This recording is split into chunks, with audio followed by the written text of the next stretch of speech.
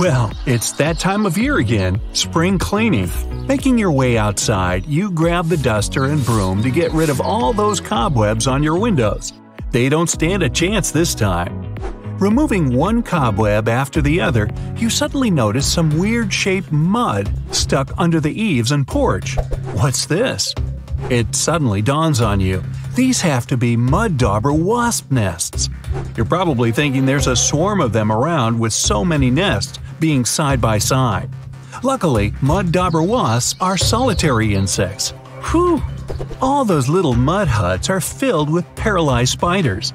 Sometimes, even up to 500 spiders can be trapped in these lockers, just waiting for the wasp young to hatch. If the nest has holes, it may indicate the nest is inactive or old, as mud dauber wasps create holes when they leave the nest. If you're not going to remove them, it's best to wait till nighttime when they're not as active. While they're pretty placid, if they feel threatened, they won't hesitate to sting. Looking like someone got halfway through building one insect and forgot what part came next, the mole cricket is one insect that really looks out of this world.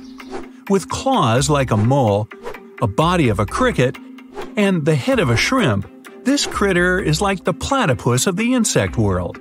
They're not venomous and will only bite if you trap them inside your hand. And if you really annoy it, it's got something else up its sleeve the wings. They can spit a foul smelling brown liquid from their body, just like a skunk. So just let them leave your home and there will be nothing to clean up. Rock pools are teeming with all sorts of plant and animal life. Sea creatures such as starfish, seagrass, hermit crabs, tiny fish, and all types of octopuses. If you come across this tiny blue ringed octopus, it's best to leave it alone. It's flashing neon blue at you for a reason. This miniature octopus has a venomous bite that's a thousand times stronger than cyanide, with no antidote available. Don't poke it with a stick or try to pick one up. It's not worth the trip to the hospital or the morgue. Snakes on land are scary, but sea snakes are on an entirely different level. Found in the Indian and Pacific Oceans, there are about 50 different species of sea snakes, and they're beautiful as much as they're dangerous. Luckily, they don't seem to worry about us too much. The Dubois sea snake is arguably the most venomous snake in the ocean, with the beaked sea snake not far behind. Their venom makes a cobra's bite seem like a walk in the park. The venom of both these snakes is extremely dangerous. Good thing for us that their venom can take hours to cause any symptoms in humans. If they can bite through your wetsuit, that is. Now, if this fly lands on your arm outside, you might just scream a little. Hey, I wouldn't blame you. The scorpion fly, as its name suggests, has a curved tail that looks just like a scorpion stinger. But you can breathe a sigh of relief. This is only used for mating. It also has a long beak like head that's used to feed after stealing insects from spiders' webs. To find the perfect partner, they love to give the equivalent of a box of chocolates and flowers, except theirs is saliva. Hmm, how romantic. If you happen to be in Africa, you might just miss this large bird if you're not paying attention. The shoebill will just casually stand still as you walk right on by growing up to 5 feet tall with an 8 foot wingspan. The shoebill sounds like an apex predator, though it's anything but. Known as one of the most slow moving birds, almost statue like, the shoebill just eats fish near the surface of the water without a care in the world. This bird isn't afraid of humans at all. While they won't naturally come over to talk about the weather, they'll allow us to get close enough for some photos. Now, if you hear a small squeaking sound while you're in the garden, it could be a mouse, a squirrel, or a rhinoceros beetle is letting you know that you are too close. They love to make a racket when bothered. With a giant scary horn on top of their head, they might seem like they're able to defend themselves with it, but that's not possible at all.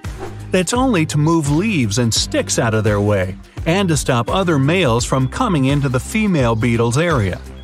Not only have they got a horn on their head, But they've also got Herculean strength, able to lift 850 times their own weight.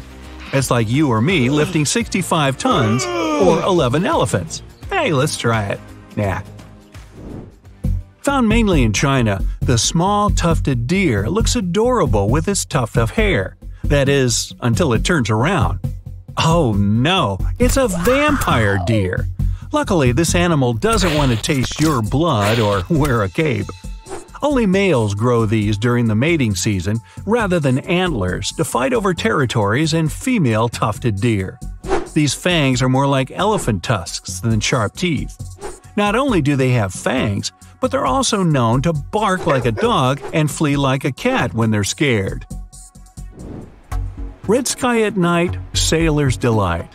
Red sky in the morning, sailor's warning. No one said anything about a red tide, though. The red tide is a toxic algal bloom that rises up from the seafloor after particularly bad storms. This algae looks a lot like spilled ketchup or rust in the water, but it's much worse for the life around it. Fish and marine life will try to escape once exposed to the toxic algae in their water. It's not particularly harmful to humans who are exposed to it. But if you eat seafood contaminated with its toxins, things can become a bit more serious. So, if the sea is red, just stay out of the water. Some spiders love to show off with bright colors to show they're dangerous. Not the Sydney funnel web spider of Australia. This glossy black spider doesn't need theatrics to prove it's tough. These bad tempered crawlers cause serious alarm when they decide to bite us. They can shut down our entire nervous system in as little as 30 minutes. Making their web in any shelter, like old logs, shoes, or even garden gnomes, the funnel web spiders like to live close to our surroundings for easy food. When they get tired of an area, they just leave their web behind and wander off to find somewhere new. Perfect. Some say honey badgers don't care, and I think they might be right. When you're brave enough to take food away from a jaguar, lion, or hyena, hey, what do you got to fear? These tough relatives of the weasel aren't just ferocious, they're super smart. Known to even use tools to escape from enclosures. Objects like rakes, stones, and mud just become things to climb for freedom.